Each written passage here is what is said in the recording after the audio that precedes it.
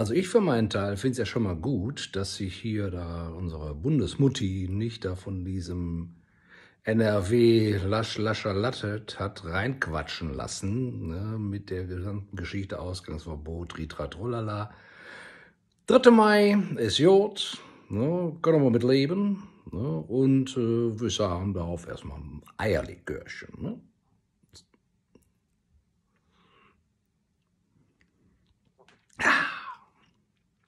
In dem Sinne, macht gut, bleibt gesund und schön zu Hause bleiben. Ne?